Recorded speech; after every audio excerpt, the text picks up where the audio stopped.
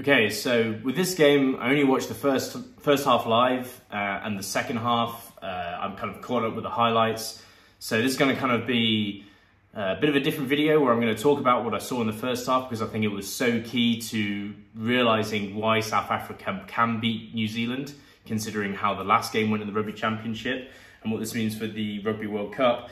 And at the end, I'd like you to tell me what you saw in the second half and if it was much of the same, because the score suggests to me that it was. So I'll just get straight into it. So South Africa, before the game even started, selected a pack that uh, was huge, right? Big guys, uh, basically grafters over kind of flair. I'm talking about uh, Newland coming in for Jasper Wiese, Pieter-Steph Too, uh, however you say his name is, he came in at seven, who's a much bigger player than they usually have playing at seven. Sometimes they play Franco Mostert there. They put Franco Mostert in the in the back rows.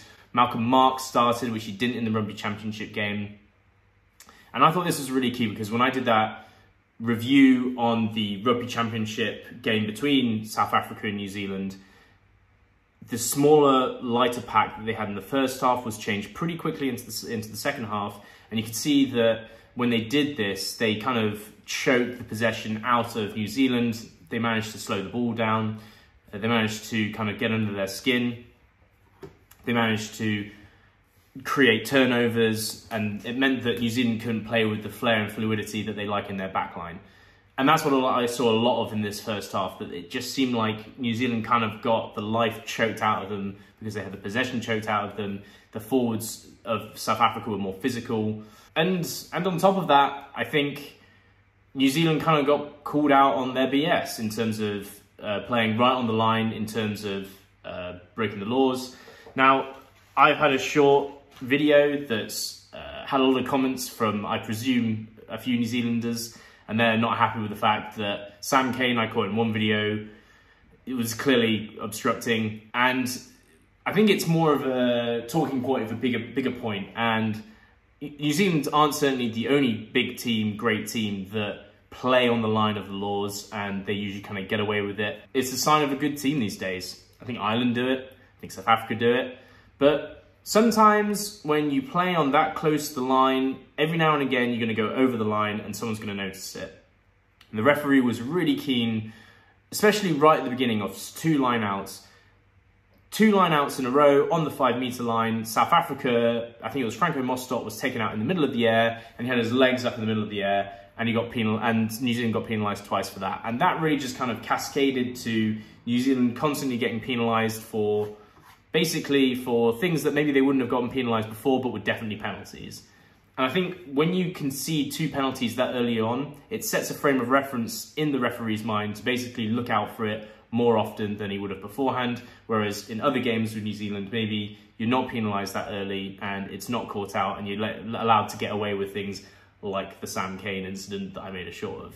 Don't get annoyed, it's just the reality. Anyway, they get called out, and it just meant that they kind of, got choked to possession in my eyes. I saw, I think in the first half as well, Manie Libbok, another great game. I think he's a really exciting prospect for the World Cup. He has South Africa playing in a completely different way. I'm talking possession rugby, holding onto the ball, a great distributor, getting it to the outside quickly, and you know, maybe some of the forwards are happy that they've got to fly half like that. It means that they're always on the front foot. They're not having to make 100 tackles a game. And it's really exciting to watch because that backline of the South Africa's, it just needs unlocking. They've got excellent wingers, even in their reserves. They've got Willie le Roux at fullback. Willemse played in this game, um, and he also played, played, played pretty well from what I saw.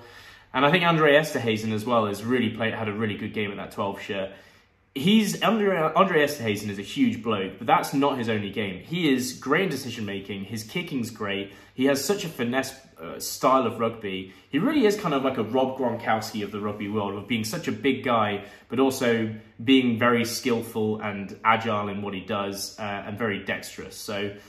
I think he should be the 12. I know that there's a bit of legacy with the guy who's in there at the moment, so maybe that's why he's not being selected.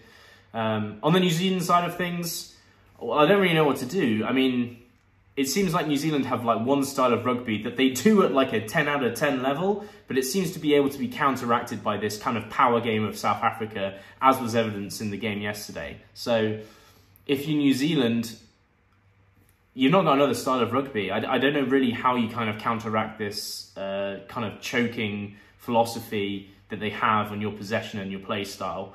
It's a very difficult one to solve because South Africa seem to be the only team that are really able to do this to you. Maybe Ireland is probably uh, another shout for that as well, considering how the series went the last time that Ireland were in New Zealand as well.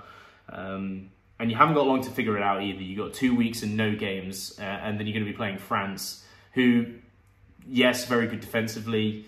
Um, they're not a possession team, so maybe you'll get the ball more to be able to do more, uh, more more things with the ball. But it could be difficult. Uh, so we'll see. I mean, before this game, I thought New Zealand was probably the team to beat in the, in the World Cup. I think they they were probably number one in my eyes, but South Africa might have just edged them out in this, uh, just because of how dominant this performance was. So credit to South Africa. Uh, and you're really, South Africa really are kind of turning the key and turning the screw right at the right time for this World Cup. So fascinating World Cup for both these teams. South Africa, uh, kind of, South Africa and Scotland in their group are looking the hottest teams out of them. Ireland are looking pretty good, but it's so many question marks for me with Johnny Sexton coming back in at 10 after having not played for them so long. Obviously, uh, Ireland have a bit of time to get their act together, and there's probably I have full, full faith that they do. It's just I've seen Scotland and South Africa already achieve that faith because of how they've played. And on France's side of things, you're in a group with New Zealand and Italy, I guess you could say, in terms of being competitive. So we'll see. I mean, if you're New Zealand, you're probably more than likely going to get out of the group stages, and then you're going to be playing either South Africa, Ireland, or Scotland. So uh, it's not gonna it's not gonna be easy, considering that I think two of those teams, South Africa and Ireland, can play a style of rugby that seems to really counteract what you do. So interesting food for thought, and we'll see how the World Cup envelops. Can't wait. Illuminati confirmed.